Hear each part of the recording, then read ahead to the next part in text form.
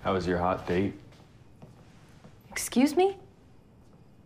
Okay, relax. We were just having a little fun. You guys are assholes. Belly, come on. All I wanted was to go to a drive-in with a guy that I think is, is cute and sweet, and, and, and you guys had to come and ruin it. And us showing up for like two minutes ruined that, really? Grow up, Belly. Why couldn't you let me have this one thing? Huh? Admit it. You knew what you were doing. What? What was I doing? Reminding me that you existed. I don't know what you're talking about.